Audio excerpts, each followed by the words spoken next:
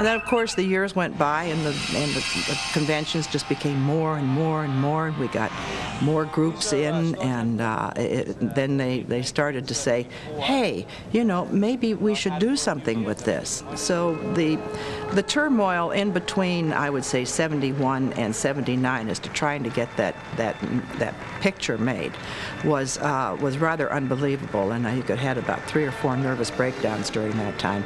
It was released in 1979. It was Star Trek: The Motion Picture. That was it.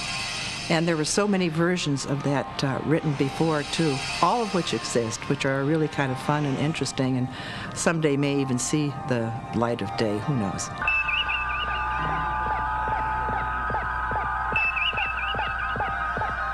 Well, that turned out to be a, um, you know, a not too bad hit.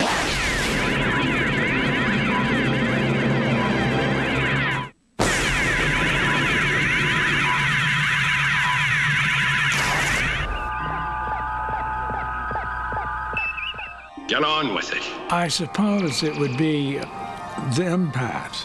She must be an empath. I thought it was so dramatically done. The entire stage was blacked out in curtain, black curtains, and everything was done in pin spots, the lighting. And I just thought it was so unique Exactly. in, one, in two, the production uh, values and the cinematography on it. it. I just thought it was, you'd look around and you think, gee, what a wild way to shoot a show. And uh, maybe I'm being prejudiced and uh, thinking it, of it from a production standpoint, but that pops into my mind.